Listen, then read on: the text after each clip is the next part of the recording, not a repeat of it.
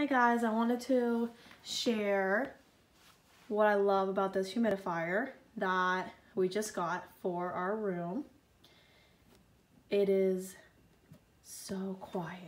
We love that it is so quiet and you can see the mist coming out and you cannot hear it at all. I did pour essential oils in the bottom. It has a little slip in the back where you pop open and then you can drop your favorite essential oils on there. And I think that is my favorite feature because we love essential oils at our house and that makes a room smell and makes it even cleaner than it is. Um, we love that it has the 24 hour feature so we can leave it on all day and it'll just run through. And we have really liked it. Um, we really recommend this if you're looking for that humidifier for your room or living room. I used to have it in my living room but now we just moved it to our room. I think it's gonna be better here but I will end up moving it room to room or if not get a, a new one.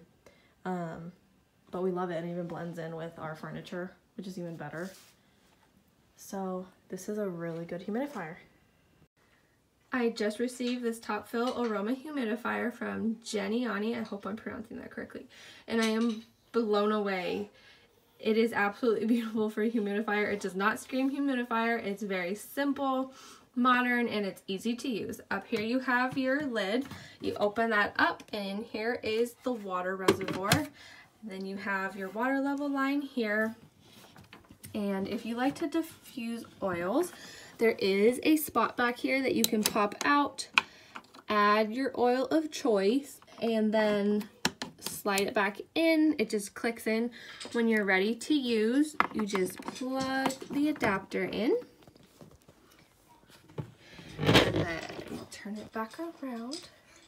The light will come on um, and you push it and it will start to mist. Very, very simple to use, nothing crazy. Absolutely love this. Very easy to clean. Just wipe out, wash out the tank. Um, if you use oils, wash the sponge and then replace it. And with a few clicks, it will turn off. Very, very simple. And it's a it's an awesome humidifier.